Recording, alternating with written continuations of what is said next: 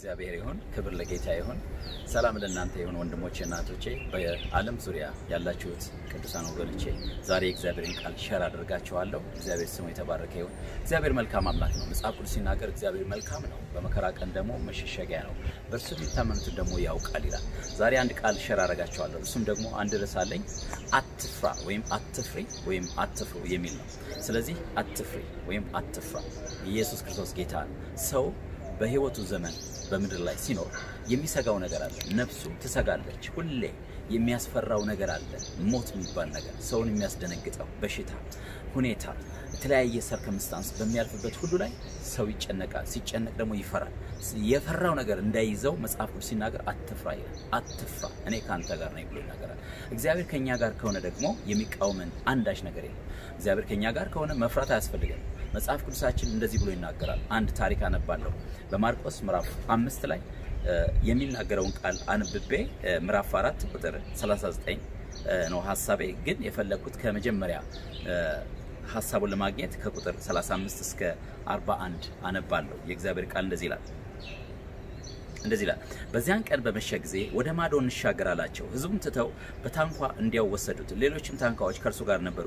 ብርቱ አውሎ ነፋስ ተነሳና ውሃ በታንኳይቱ እስኪሞላ ድረስ ማዕበሉ በታንኳ ይገባ ነበረ። እርሱም በስተኋላ ትራስ ተንተርሶ ተኝቶ ነበረ። አንቅተውም መምህር ሆይ ስንጠፋ አይገድህምን አሉት። ነቅቶም ነፋሱን ገሰጸ፣ ባህሩም ዝም በል ጸጥ በል አለው። ነፋሱም ተወ፣ ታላቅ ጸጥታ ሆነ። እንዲሁም የምትፈሩ ስለምንድን ነው? እንዴት እምነት የላችሁ አላቸው። እጅግ ፈሩና እንግዲህ ነፋስም ባህርን የሚታዘዙለት ይህ ማን ነው ተባባሉ። የእግዚአብሔር ልጅ ኢየሱስ ክርስቶስ ማዕበሉ አዛዥ ነው። የእግዚአብሔር ልጅ ኢየሱስ ክርስቶስ ነፋሳትን ያዛል። የናዝሬቱ ኢየሱስ ክርስቶስ በሰው ልጆች ብቻ አይደለም፣ በምድር ሁሉ ላይ ባሉ ሁሉ ላይ ስልጣን ያለው ጌታ ነው። ጌታ ኢየሱስ የተባረከ ይሁን። በኢትዮጵያ መንግስት ያሉት ባለስልጣኖች በኢትዮጵያ ምድር ብቻ ይወሰናል ስልጣናቸው።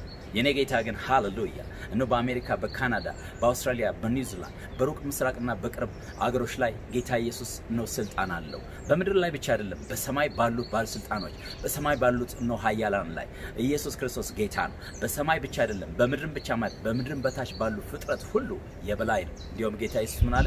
እነሆ ሙሉ ስልጣን ተሰጠኝ፣ ከእግዚአብሔር ዘንድ ሙሉ ስልጣን ተሰጠኝ። በሰማይና በምድር በሞት ላይ ስልጣን አለው። በሞት ላይ በበሽታ ላይ ስልጣን አለው። የሁሉ ጌታ ነው። በሲኦል ላይ ስልጣን አለው። በህይወት ላይ ስልጣን አለው። በሰው ልጆች ላይ ስልጣን አለው። በባለስልጣኖች ላይ ስልጣን አለው። ለዚህ ነው መጽሐፍ ቅዱስ ሲናገር ጌታ ኢየሱስ የጌቶች ጌታ የነገስታት ሁሉ ንጉስ ነው ይላል መጽሐፍ ቅዱስ ሲናገር። የእኛ ጌታ፣ የአንቺ ጌታ፣ የአንተ ጌታ የሁሉ ጌታ ነው። ስለዚህ በበሽታው ላይ፣ በማዕበሉ ላይ፣ በጨለማው ሁሉ ላይ ባለስልጣን የሆነው እግዚአብሔር ከእኛ ጋር ካለ ማንም ሊያስፈራንና ሊያስደንግጠን አይገባም። በዚህ ሰዓት በጭንቀት ውስጥ ያላችሁ በብዙ መከራ ውስጥ የምታልፉ ሰዎች ወገኖቼ እነግራቸዋለሁ።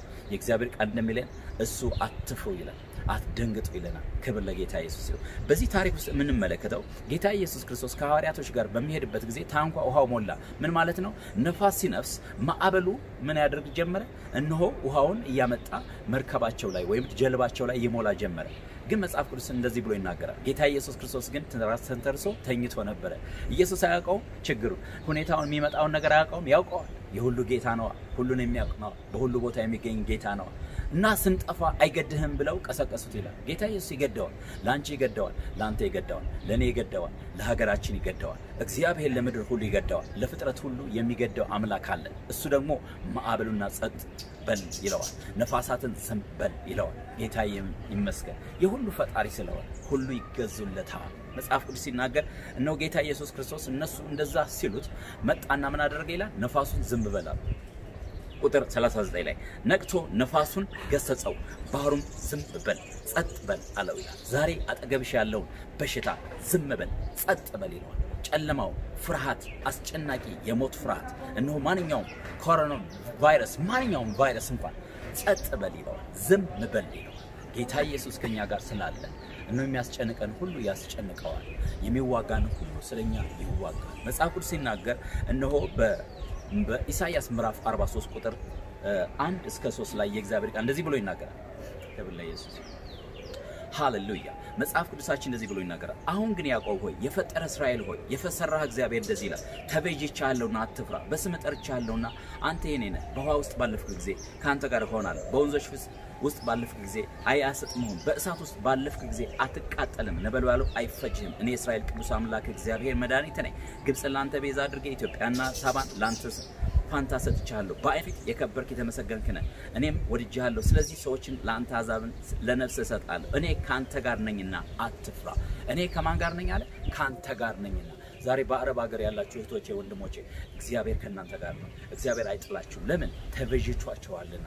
መጽሐፍ ቅዱስ ሲናገር ተቤዥቻለሁና ምን ማለት ነው? ገዝቻለሁ። አንተ የኔ ነህ አንተ የኔ ከሆንክ ደግሞ አልጥልህም አልተውህም ያለን ደግሞ ቃሉ የታመነ ነው። ስለዚህ ወገኖቼ ወይ ዛሬ በምድር ሁሉ ላይ የምትጨነቁ እህቶቼና ወንድሞቼ እግዚአብሔር ከእናንተ ጋር ነው።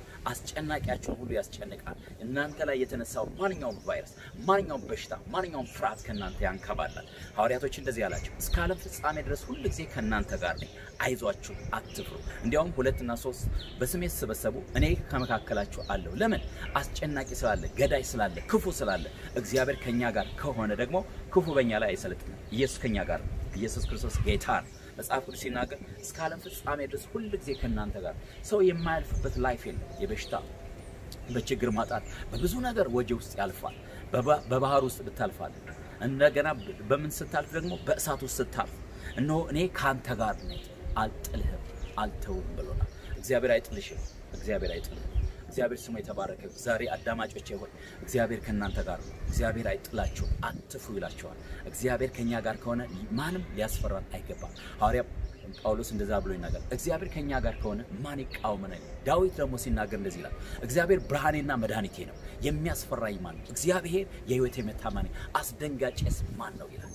በእኔ ላይ እንደ ንብ ከበቡኛል፣ በስጋዬ ላይ በእኔ ላይ እንደ ንብ ከበቡኝ፣ መክበብ ከበቡኝ። ነገር ግን በእግዚአብሔር ስም አሸንፋቸው። እግዚአብሔር ከኛ ጋር ብቻ አይደለም አለ። እግዚአብሔር ከኛ ጋር ከሆነ ይዋጋል፣ እኔም እዋጋለሁ ዳዊት ሲናገር። ስለዚህ እግዚአብሔር ከኛ ጋር ከሆነ ወገኖቼ ወይ እናሸንፋለን።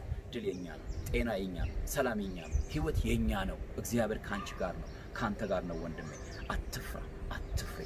ኢየሱስ ክርስቶስ ለዘላለም ጌታ ነው። ሃሌሉያ። መጽሐፍ ቅዱሳችን እንደዚህ ብሎ ይናገራል። ኢየሱስ ክርስቶስ ትናንትና ዛሬም ለዘላለም ያው ነው፣ አይለወጥም። ከአንተ ጋር ነኝ ካለ አይሄድም።